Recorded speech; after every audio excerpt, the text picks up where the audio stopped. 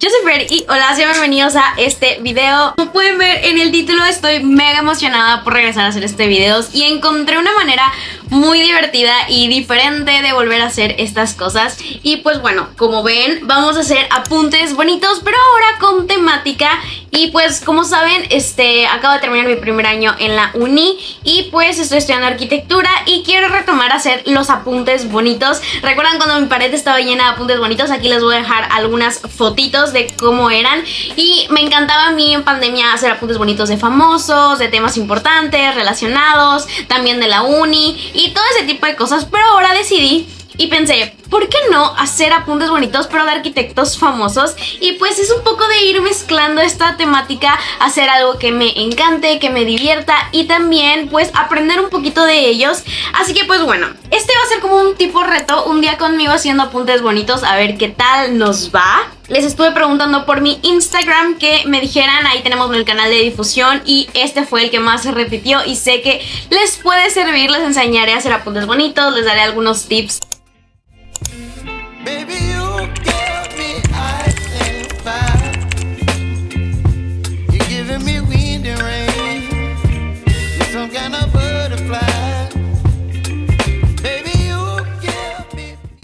aquí tengo ya las fotitos, aquí vean. Les voy a dejar un link en la descripción por si quieren igual hacer estos apuntes y ya tengan el PDF para pues imitarlos o algo así. Se los dejo aquí en la descripción junto con mis redes sociales. Y vean, aquí tenemos las fotitos, vamos a recortarlos y vamos a ver qué se va a hacer. Por si no conocen un poquito de arquitectura o algo así, pues bueno, estos son cuatro personas muy influyentes. Tenemos a Le Corbusier, a Mies van der Rohe, a Luis Barragán, que es un excelente arquitecto mexicano, y a Zaha Hadid. Entonces, pues bueno, vamos a ver qué tanto podemos hacer con esto. Estoy súper emocionada ya de empezar. Nada más que decir, vamos a empezar con los apuntes bonitos, a ver cuánto me tardo, qué tal queda el resultado y acompáñenme.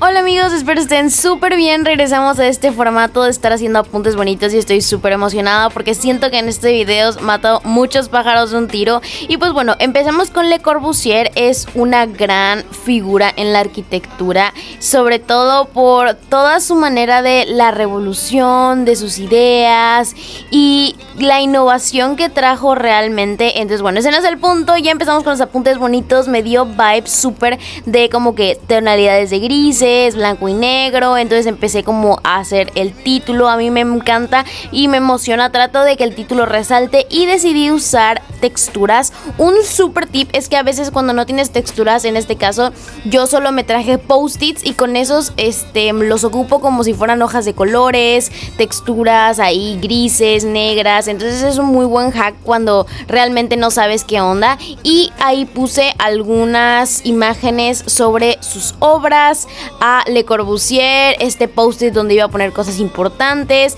Como ven, mi procedimiento para hacer los apuntes bonitos primero es más que nada Em, ver, ver como la estructura. Primero pongo las washi tapes, el título. Como tengo tiempo, pues no me apuro y pues lo decoro súper bien. Le hice un degradado y ya de ahí es poner como la información donde poco a poco ya voy separando los temas, dividiendo. A veces esto es como más como biografía, pues puede ser como muchísimo texto, pero también les recomiendo como poner diferentes subtítulos, hacer algunos diagramas como para ir entendiendo mejor la información, separarlo por puntos, que la verdad es bastante útil y siento que realmente me gustó, me encanta como que este estilo de recortar la figura, le puse una pequeña frase y algunas de sus obras importantes que siento que también son como datos que deberíamos de saber y miren, este fue el resultado, a mí me encantó, vean cómo se ve, está súper lindo y las tonalidades y todo siento que combinan bastante bien con Le Corbusier, lo que piensa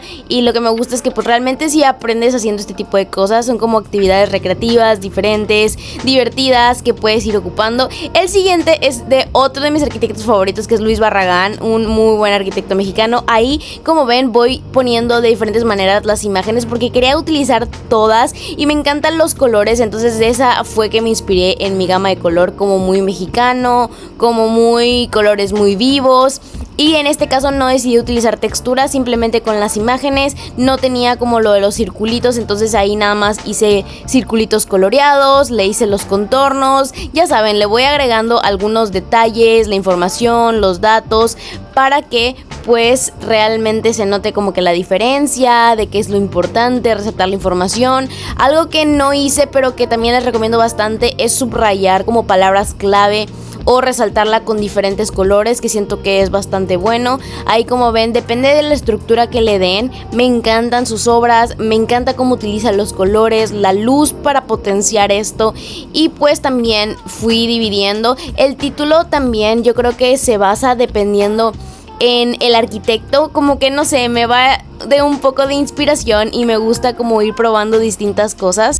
Recuerden igual ustedes cuando intenten hacer apuntes bonitos que pues realmente entiendan lo que están escribiendo y que sea una manera entretenida de que ustedes capten la información. A mí me encanta ir poniendo cada detalle y fue un poco tardado la verdad porque pues estuve cambiando todos los plumones. Ahorita como no estoy en mi escritorio habitualmente, eh, pues estuve utilizando los Tombow, que son los plumones que me traje. Y vean, este fue el resultado. La verdad es que siento que quedó bastante lindo. Le atiné 100% con los colores.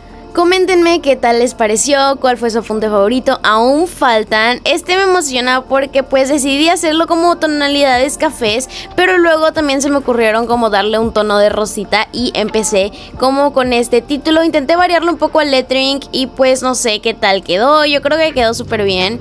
Es de Zaha Hadid, una igual muy importante arquitecta que pues fue un gran impulso para las mujeres, ganó el premio Pritzker y cosas así, o sea, si quieren conocer más, de verdad que les recomiendo conocer un poco respecto a estos arquitectos. Aquí le fui agregando otra vez texturas y repito, son los mismos como post-its que aunque a veces es un poco limitante porque están pequeños, yo creo que es una muy buena herramienta. Le fui agregando imágenes, como que estas curvitas que siento que quedan súper lindas y ahora sí el texto. Como ven, siempre estuve recortando como la foto del arquitecto como si fuera un tipo collage o sticker. Y yo creo que le da un toque bien lindo.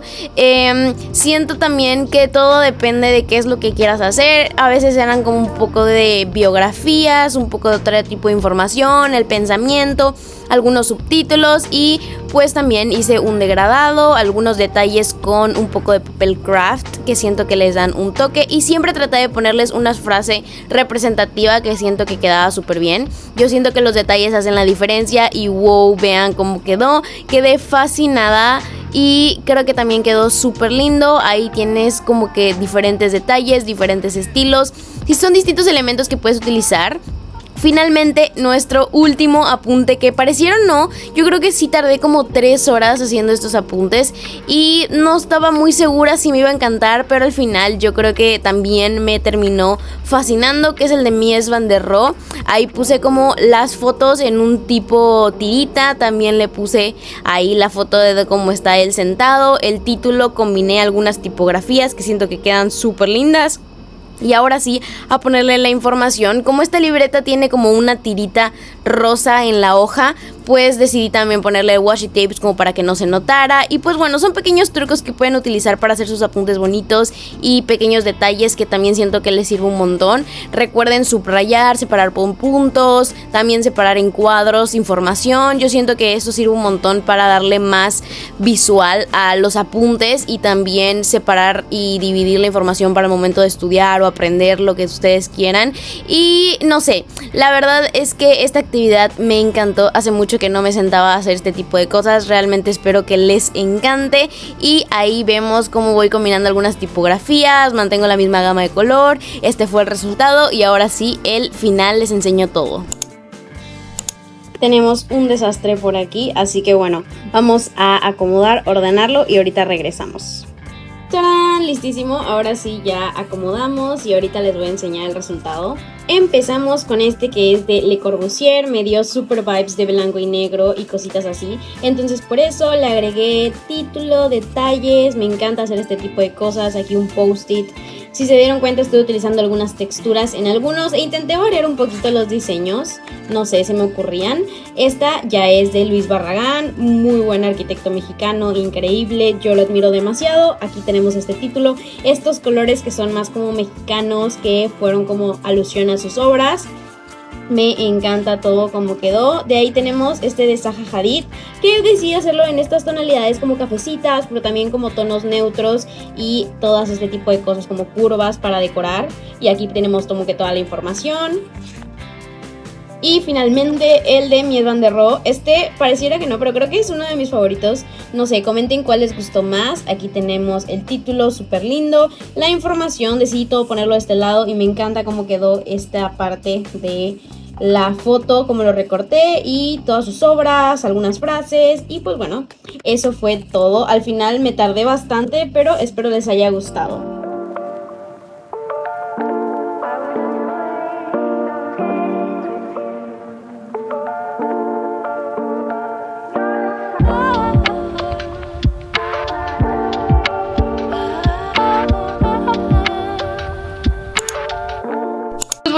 Ya tenemos aquí todos los apuntes y el resultado final. La verdad es que quedé encantada, me sirvió un montón tener y tomar este tiempo para hacer apuntes bonitos, relajarme, despejarme. No sé, si siguen en clases, pues es una muy buena idea que ustedes pueden hacer sobre los temas que quieran repasar. Yo lo estoy haciendo en este caso en vacaciones, también pueden practicar y me encanta, los disfruto demasiado y pues bueno, espero les haya encantado este video. Comenten si les gustaría ver más videos de este tipo, qué otro tipo de contenido les encantaría. Perdónenme por no subirles un videito el lunes, pero pues gracias por quedar hasta aquí.